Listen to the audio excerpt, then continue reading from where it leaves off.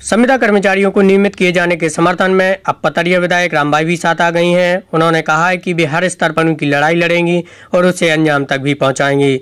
साथ ही आश्वस्त किया कि मुख्यमंत्री शीघ्र ही संविदा कर्मचारियों के संबंध में कोई बड़ा निर्णय लेंगे। आपको बता दें कि संविदा कर्मचारी अपनी नियमितीकरण मांग को लेकर भोपाल में प्रदर्शन कर रहे हैं। इसी को लेकर विधायक रामबाई ने अपना समर्थन देने की बात कही। मैं आप लोगों के बीच लेट इसलिए आई है, उन्हें मालूम है कि पहले मैंने आप लोगों की बात हमारे इस प्रदेश के मुखिया कमलनाथ जी, सीएम साहब से की और फिर हमारे मुख्य सचिव आदरणीय मोहंती साहब से की। मैंने दोनों जनों से ही आपकी बात की और आपकी पीड़ा मैंने उन्हें सुनाई है। बंगले पर जो कुछ भाई गए थे, उन्होंने बताया कि कल परसों की बात है, किसी को कटनी में कहाँ पे बिना सोचे समझे ही निकाल दिया। मुरैना है।